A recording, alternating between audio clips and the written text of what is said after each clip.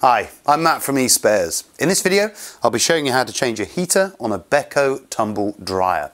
If your machine is making all the usual noises during the drying cycle, but you notice there's no heat coming from the machine, it may well be that the heater has failed and it needs replacing. Safety first, always unplug an appliance before carrying out any work. There are three main reasons why a heater may fail on a tumble dryer. The first is the filter may be blocked and needs emptying. Secondly, the condenser is blocked and needs cleaning.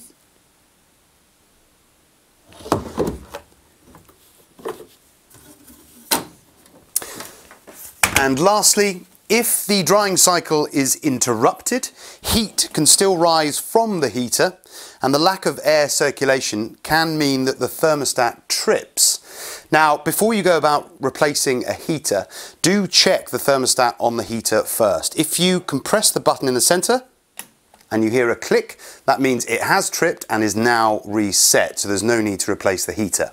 However, if you press that button and you don't hear a click, you'll need to replace the heater. To access the heater, you'll need to remove the heater cover and also the top of the appliance by undoing the screws.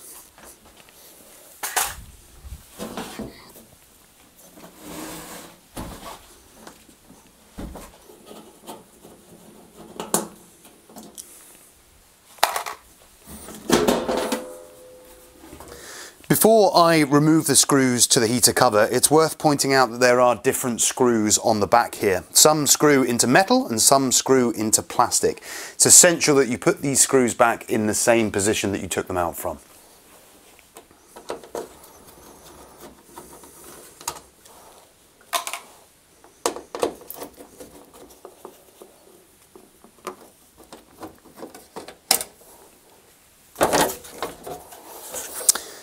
So with the heater cover removed, here we have the heater. To remove the heater, I first need to remove the cover up here that keeps the wiring in place for the heater.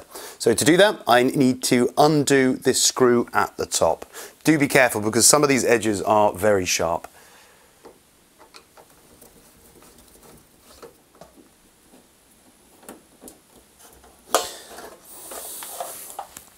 Once the cover is disconnected, you can then simply unattach the electrical connections. With the cover released, I can now pull the electrical connections through, as well as the rubber grommet that holds them in place.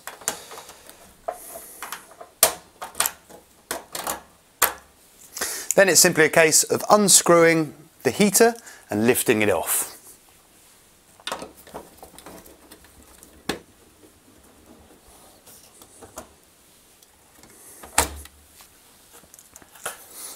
You can then grab your new heater, hook it into position,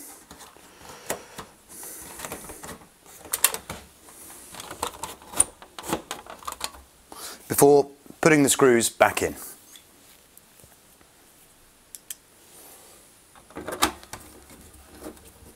With your new heater in place, you can then feed the electrical wires back through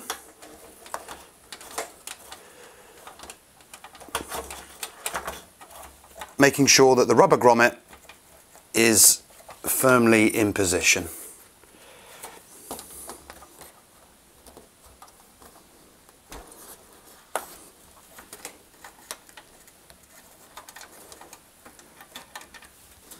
You can then reconnect your electrical connections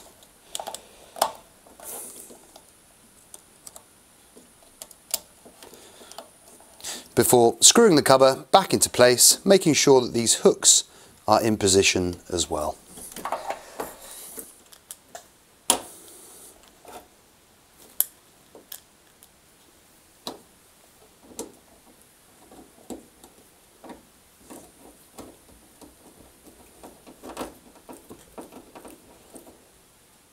With the heater now fully connected, I can replace the heater cover.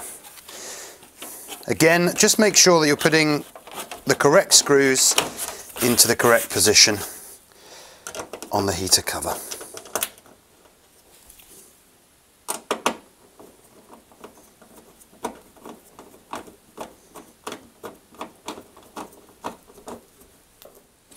With the heater cover screwed into place, I can now replace the top of the tumble dryer.